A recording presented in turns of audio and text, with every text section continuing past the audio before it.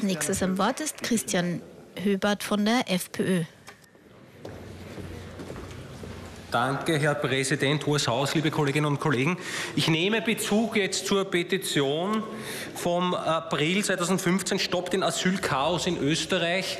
Insofern etwas ironisch, wenn wir im April schon gewusst hätten, was sich für ein Chaos über unsere Republik zum Thema Asylunwesen hier ausbreitet, hätte ich die Petition mit den Bürgern, sie wurde doch von tausenden Bürgern unterfertigt, nicht Stopp dem Asylchaos in Dreskirchen genannt, sondern ich hätte die Petition Stopp den Asylchaos in unserer Republik Österreich benannt. Sehr geehrte Damen und Herren, um welche Menschen handelt es sich hierbei und was war der Grund, warum Tausende diese Petition unterschrieben haben. Es geht um das Asyl-Erstaufnahmezentrum Dreiskirchen. Ich wohne in der Nachbarortschaft Gundramsdorf. Ich muss Ihnen sagen, beschämend, was sich in Dreiskirchen abgespielt hat. Äh, Hunderte, wenn nicht gar Tausende Menschen auf den Straßen. Wir wissen, die Fakten geben uns ja hier auch recht. 80 Prozent junge Männer sind hier größtenteils illegal eingereist. Wir wissen, dass es sich zumeist um völlig bildungsferne und auch kulturfremde Menschen handelt. Und das hat auch massive Probleme auf den Straßen herbeigeführt.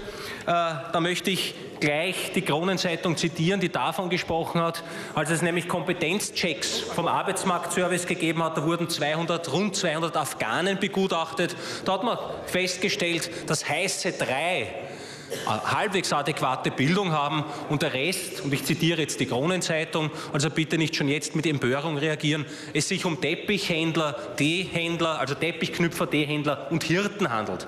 Und diese Menschen sind zu Abertausenden eingewandert. Wir haben fast 100.000 Asylanträge in unserer Republik entgegengenommen. Von knapp 40.000 erstinstanzlichen Entscheidungen nur 13.000 positive. Das heißt, zusammengefasst, die Asylindustrie treibt ja wirklich schon skurrile Blüten.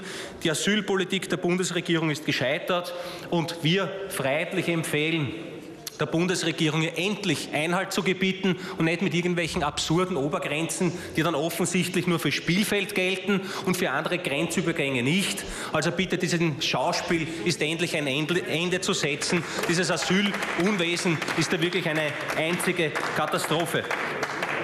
Vielleicht noch kurze Zitate, die unsere Positionen auch entsprechend untermauern.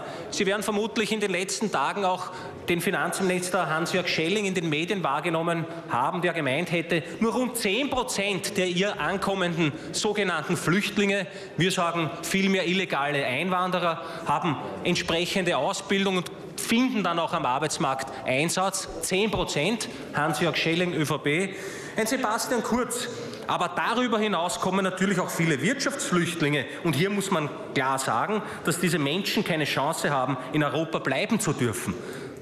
Sebastian Kurz, Landeshauptmann Nissel möchte ich jetzt gar nicht hier viel ins Rennen führen. Sie kennen die durchaus vernünftigen FPÖ-nahen Positionen des Herrn Landeshauptmann, auch wenn das viele Genossen hier in dieser Runde nicht hören wollen. Sie wissen ganz genau, was Sache ist.